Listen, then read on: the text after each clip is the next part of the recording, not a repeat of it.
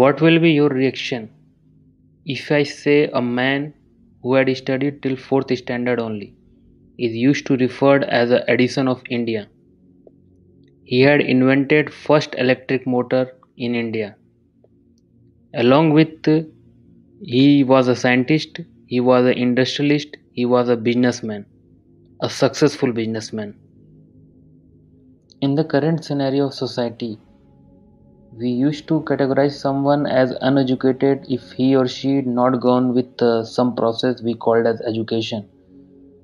But uh, on a real ground on a practical ground if we see it's like wisdom is not a product of schooling i think. But uh, it's a kind of long life attempt just to acquire that skill. In today's video the person about whom we are going to talk about. He have a very poor basic education. He had studied up to 4th standard only. He born in a poor agriculture family. His father was a farmer. It may be surprised to note that he had been appreciated by sir c.v raman. He went to london germany and had a conference with engineers. G.D. Naidu was born at Kalangal, Coimbatore on 23rd March 1893 in some Telugu family. He was the son of farmer. His childhood years were spent getting trouble at school. He disliked attending classes. During his teenage, Mr. Naidu used to admire a 1912 model Rudge motorcycle. The teenager was so smitten by the bike that he left his native village Kalangal and went to Coimbatore. For almost three years, Mr. Naidu had worked hard at a hotel as a waiter and saved enough money to buy that bike.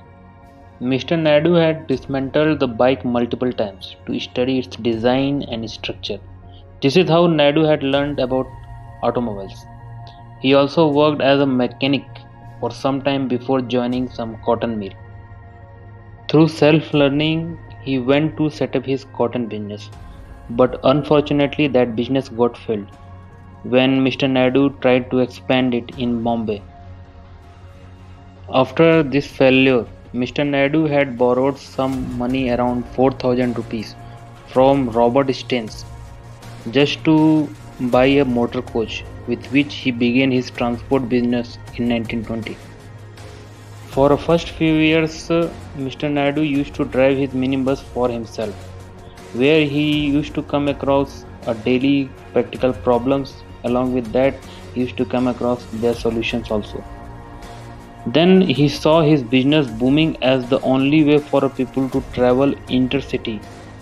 Because at that time the people used to travel by intercity as via bullock carts or walking.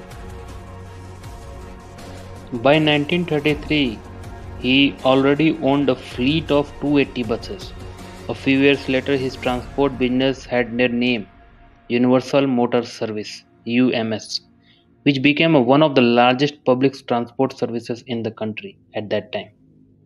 From his practical understanding on automobiles, their complications, their problems, and their solution, G.D. Naidu has developed India's first indigenous motor in 1937, along with Dr. Balasundaram Naidu. Along with indigenous motors, once Mr. Naidu had set up a rotating iron grill gate at the entrance of his house in such a way that whenever somebody opens the gate by turning around the grill bars of the rotating gate, a bucket of water would be drawn from the well in the backyard of the house and stored in the cement tank. That was nothing but the principle of conservation of energy. Naidu had also invented a razor named as Rasant, a small motor operated dry cells which was later developed at a factory in the German town known as Heilbronn. Along with that, his other inventions were super thin shaving blades, a distance adjuster for film cameras, a fruit juice extractor, a tamper proof water record machine, a kerosene run fan. In 1941, he had announced that he had the ability to manufacture a 5 valve radio sets in India at a cost of 70 rupees only. In 1952, one of his inventions, the two-seater petrol engine car, which had a cost of rupees 2000, had rolled out. But the production was stopped subsequently. The reason why it stopped because the government refused to grant the necessary license.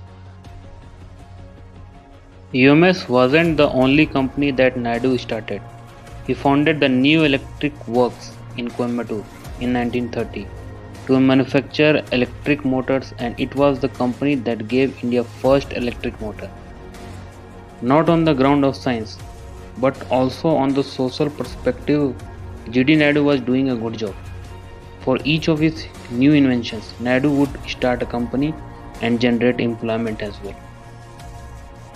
Not forgetting his roots, Naidu was actively engaged in the farming activities as well and it is said that he grew millet and 10 feet high cotton plants. Many people would visit his farm to study high production, and among them, the one was the Nobel Prize recipient, Mr. C.V. Raman. Naidu retired from all of his business related activities in 1944 and embarked on the road of philanthropy. Two years later, he founded Industrial Labour Welfare Association, which is now known as GD Naidu Charities. He had an aim to include a practical training in higher education, just to include the practical analysis along with that student would get employment easily. Naidu had set up India's first polytechnic college in 1945, the Arthur Hope Polytechnic College now known as Government Polytechnic College of Coimbatore. India's Edison got his last breath on 4th January 1974. Despite of his humble beginnings and being a school dropout, Naidu had never afraid of dreaming big and taking risks at every step of his life. Even though he was a great educator, he was a great entrepreneur, he was a great industrialist, and he was a successful businessman.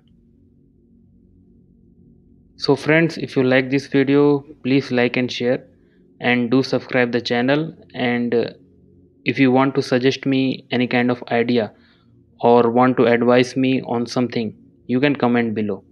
Thank you